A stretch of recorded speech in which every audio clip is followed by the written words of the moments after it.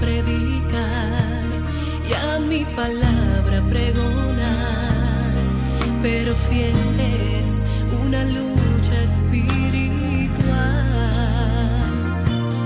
Te han querido detener, pues tu pasado es lo que ven y no entienden que yo te